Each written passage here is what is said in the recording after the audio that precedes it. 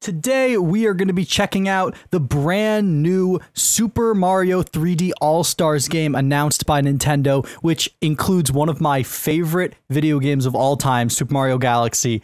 Uh, I've never done Nintendo related content besides Pokemon stuff on the channel, so if you guys are excited for this and some more videos on this stuff in the future, definitely let me know down in the description, the description, in the comments section down below, and let's jump right into the video.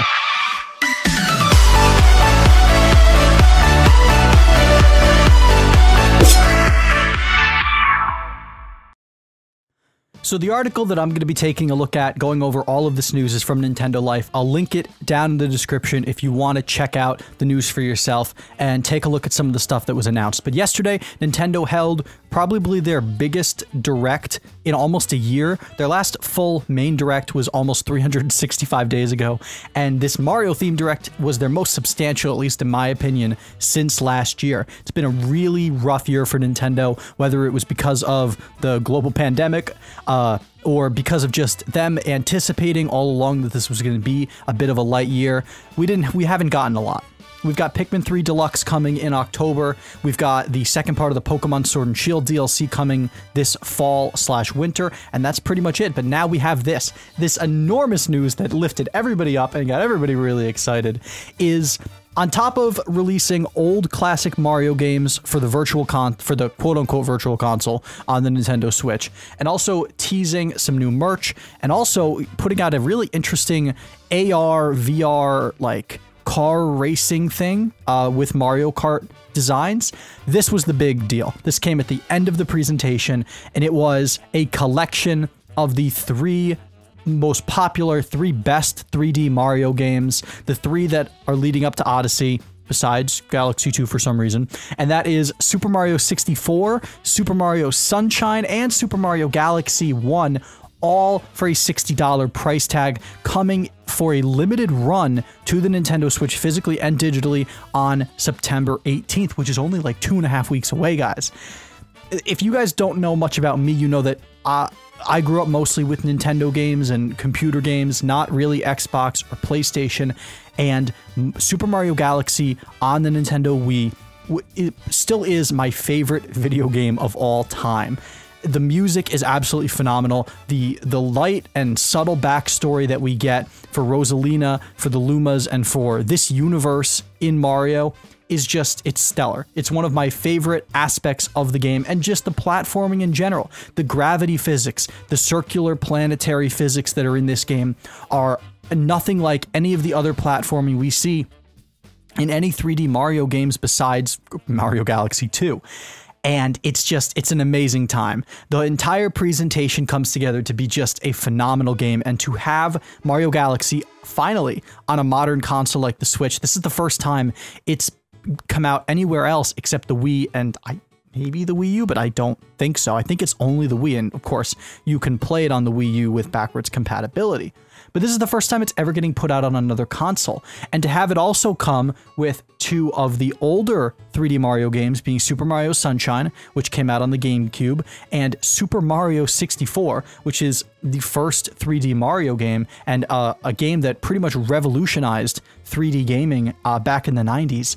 It's a fantastic package. Now, there are some critics who are saying that, oh, I wish we had gotten remasters of these games instead of just what appears to be and what we know from some press releases, just up-resed ports.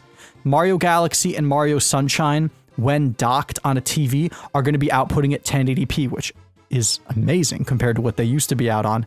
And Mario 64's max appears to only be 720p. The Mario 64 is a little curious. One, they haven't uh, stretched it out to fit the screen size of the Switch, the display size, uh, but they've done that for Mario Galaxy and Mario Sunshine. Now, that could just be that they're trying to preserve the original look and the original feel of Super Mario 64. It is an incredibly classic game, so I can understand that to an extent. Personally, I would have liked to have seen a little more work done to 64. 64 is a game that everybody has played except it's a game that I haven't played. So when I pick up this uh, 3D All Stars collection on September 18th, it's probably going to be my first time, and I think I'm going to play Galaxy first, but it'll be my first time ever playing Mario 64. And when I said that to some friends, Ryan included the other day in a Discord chat, that was pretty much blasphemy. Uh, the fact that I've never played it before. I'm very excited. I've heard nothing but good things. I'm this is a great package. The curious part is one that these are just upresed ports, and two, like I mentioned before, this is just a limited run. It's going to end in March of next year, meaning in March, not only will you not be able to purchase the game physically anymore, they're going to stop producing new copies. It appears that you're also not going to be able to get it digitally anymore. Now, of course, if you delete it from your Switch, if you've already purchased it, after that point, you will be able to still re-download it. But for people who have not purchased it before March, you're not going to be able to get it except on the uh, the third party marketplace on eBay, on other uh, gaming stores and different places, but they're not going to be producing new ones. So the price is going to skyrocket. And I don't know why that is. The only way that I can theorize, there's two reasons why. Maybe they just have such a such a close view right now that they feel they need to put this out for the holidays this year and basically just increase their numbers of Switch sales and uh, software sales because of how depleted maybe their numbers are because of the global pandemic. That's one reason. The other reason that I've seen floated about in a couple places is the potential that maybe this is just for now, and in the future, they want to put out fully remastered versions. One of them being Mario 64, which might explain why there's been very little, even compared to Galaxy and Sunshine, very little work done on Mario 64. And if that's the case, if they want to leave the door open to putting out big individually packaged remasters in the future. Obviously, that's going to make them a little more money. Instead of selling three in one, uh, they can charge a hefty price tag for all three individually. So those are the two options that I can see.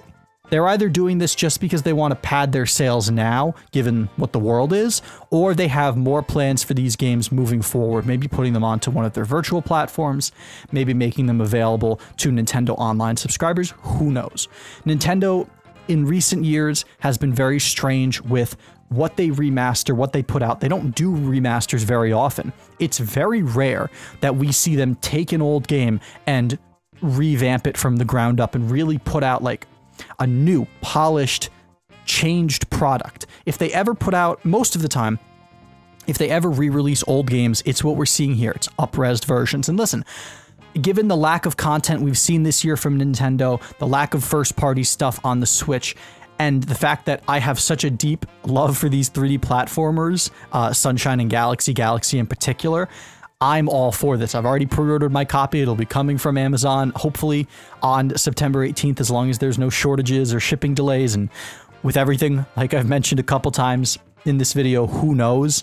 Uh, but we'll see. I'm really excited about this. I think this is going to be an awesome package for Nintendo fans who maybe haven't played these games in a long time, or a lot of people who are just getting back into Nintendo now and maybe have never gotten a chance to play Galaxy, which is the newest of the three.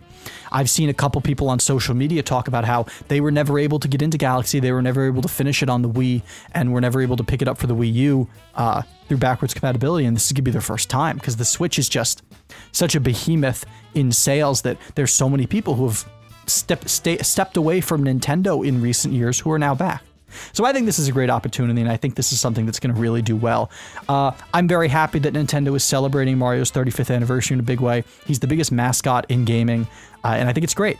Hopefully next year, which is Zelda's 35th, I believe, anniversary, they do something similarly big because Zelda is a game that I've played a lot, and some of the more recent games are some of my favorite in the entire franchise. So I would love to see them maybe bring some of the older games to the Switch so people like me who don't have as much of a history with Zelda but really love the franchise, the franchise's recent entries, can hop back into it in an easy way. But that's pretty much all I wanted to talk about in today's video. Talk about my excitement for this, uh, let you guys know that more discussion content like this is going to be coming in the future, and I'd like to pass the question along to you guys What do you think about this announcement from Nintendo? Are you excited for this Super Mario 3D All Stars package or some of the other things that Nintendo announced in this video? And if you are, of course, let me know down in the comments section or let me know on Twitter. My Twitter is at LinkyYT as it is on all my social media, and let's have a conversation about it. With that being said, I hope you all enjoyed, and I will see everybody in the next video, which might be coming tomorrow. Peace out.